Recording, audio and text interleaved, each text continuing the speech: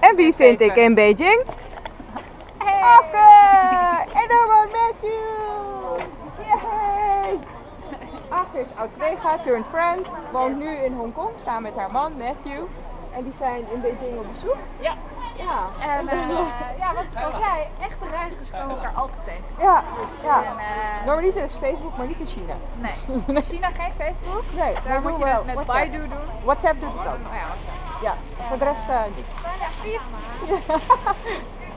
Matthew ook! Hi, dankjewel dat je kijkt naar mijn travelvlog. Zoals je ziet begint de tweede helft van mijn week in Beijing heel goed doordat ik de dag doorbreng met oud-collega en nu vriendin Aafke en haar man Matthew. We bezoeken het kunstdistrict 789 en het lijkt heel erg op Shoreditch. Ik voel me even alsof ik gewoon op citytrip ben. Trouwens, check even de kamer van Aafke en Matthew. Goals! En ze hebben de kleine kamer geboekt, we hebben een upgrade gekregen. Oh, Je moet ook vooral even naar een bad kijken. Lekker. Ja, dat ga ik zeker doen. Wow. Even het uitzicht. Wee. Super vet. Ja, dat is echt heel cool. Een houten bad. Wow, dat heb ik nog nooit gezien. Wow. Ja, heel gaaf dit. Echt, echt super tof. Oké, even naar de andere kant. Heel vet. Echt, echt heel cool.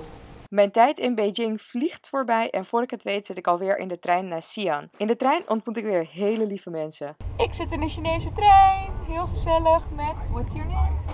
My name is Chelsea. Chelsea. Your name? My name is Yang Yao. Yang Yao. Nice Coco. to meet you. And Coco. Hallo. Hello. Hi Coco. Yeah.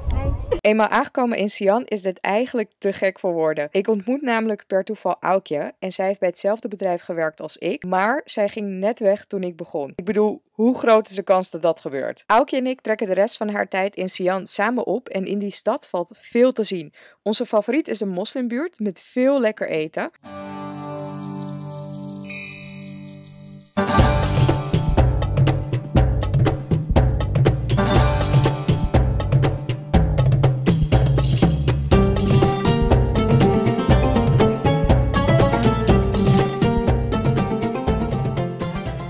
Het terracotta-leger is de toeristische trekpleister, maar om heel eerlijk te zijn, waren we er allebei niet kapot van. We vinden de stad Xi'an, die voornamelijk veel Chinese toeristen trekt, eigenlijk veel leuker. Zelfs de vuilniswagen is een attractie. Dit is echt, daar gaat het. gaat nooit vanzelf. Nee, dat hoor ik waarschijnlijk niet eens.